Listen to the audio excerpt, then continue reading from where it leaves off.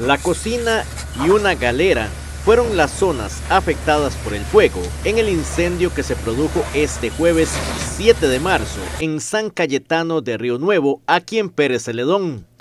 Los hechos se presentaron minutos después de las 10 de la mañana de la Iglesia Católica un kilómetro al oeste en esa localidad generaleña. Según los datos en poder de TV Sur Pérez Celedón, la atención se enfocó en una estructura de 60 metros cuadrados, con una afectación total en un 20%. Nos encontramos en San Cayetano, Río Nuevo, Pérez León, donde atendimos un incendio estructural en una vivienda aproximadamente 60 metros cuadrados, con afectación por fuego en un 20%. Dentro de ellos está la cocina y una galera. En el resto de la estructura tenemos eh, afectación por humo. No tenemos personas afectadas y atendemos con el personal de la estación de Pérez León. Ninguna persona resultó afectada. Cuatro unidades del Cuerpo de Bomberos de Pérez Celedón atendieron la emergencia.